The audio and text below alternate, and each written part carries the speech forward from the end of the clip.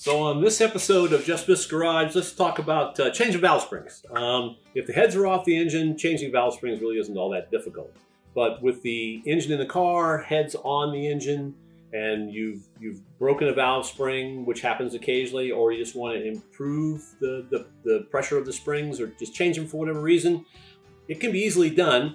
The key is really is tools. If you've got the right tools, it's a really simple process. Without the right tools, it's really a struggle. Um, we're not going to go into all the, you know, swinging rope into the combustion chamber to try and hold the valve up. We're not going to go through any of that stuff.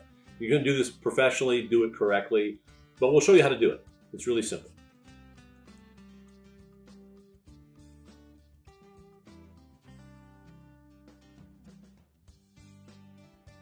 So before we show you the actual process, the, the tools are the key. So let's start with um, you got the valve cover off, you've taken the rockers off, so now all the valves are closed, spring pressure is holding the valves closed.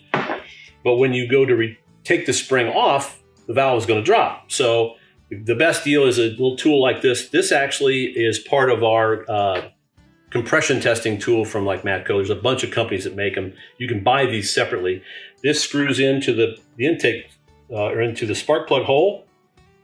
And there's a little rubber seal on here, seals it up. You just put compressed air in there. Compressed air will hold the valves in place. You'll see some leakage go by, but that's not a, an issue. So start with something like this. The, the most simplest tool uh, doesn't really work very well anymore. Um, situation like this, you just drop this over the rocker stud, put a nut on here with a washer, and then use leverage to compress the spring. The problem with this tool it works if you made the lever maybe about this long, but with spring pressures now being what they are, this is really difficult tool to work with. I wouldn't suggest using it unless you're on a desert island somewhere and you got nothing else to do. The next step up from that tool is something a little bit simpler, uses some basically thread leverage to compress it. These slip into the spring itself. These little arms in here contact the retainer, pull the spring up by tightening this, this adjuster and that will compress the spring. The problem is this gets really difficult with with relative, even with mild spring pressures. It's kind of a pain.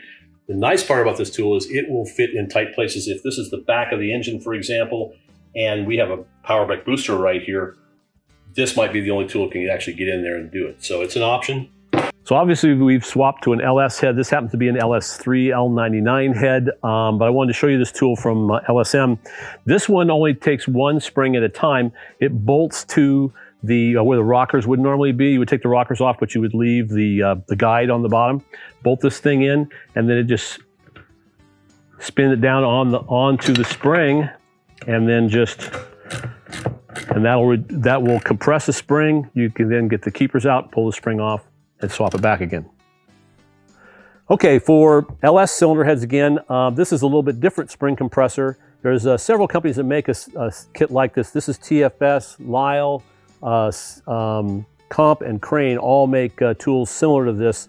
Uh, there are different tools depending upon whether it's a rect port or a, a cathedral port head because the spacing on these bolt holes is different. So you might want to check into that before you buy the tool.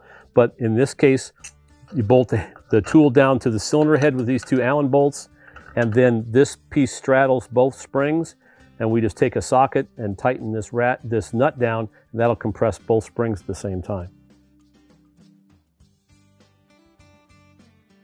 Um, the tool that we're actually going to show you we're going to use is uh, this tool from Moroso. This thing is probably 30, 40, or 50 years old. It's slick. the way it works is you you can see there's a shaft right here. There's actually two ends on it. This is the 3 8 time. This is actually a 3 8 stud. We would turn this over if we were going to use it on this head. 3 8 stud on one end, 7 16 stud on the other. You slip this over the stud and then adjust it down. And then you would pull this, actually goes this way, and then compress this down with this handle. And that compresses the spring, allows you to pull it apart. We'll show you exactly how that works. Okay, so the first thing we're going to do is slip the tool over the stud, run it down about six or eight turns, then configure this, put our handle on it, and then Pop this spring. Take our locks out.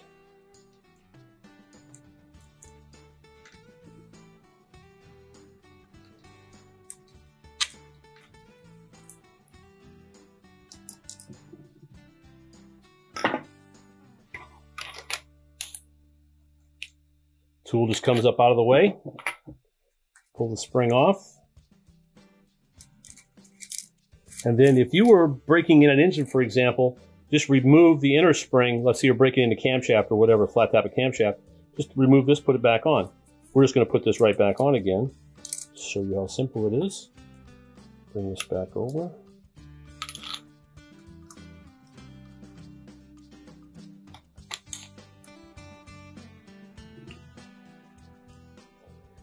And then put the locks in. It's a little tight.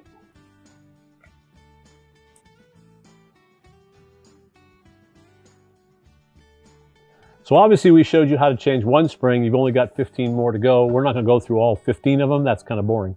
So um, pretty simple process. The big thing is to just make sure you've got compressed air in the cylinder and uh, to hold it in place. And uh, the rest of it will follow follow suit. So it's a nice, easy project. Not, not difficult at all once you have the right tools.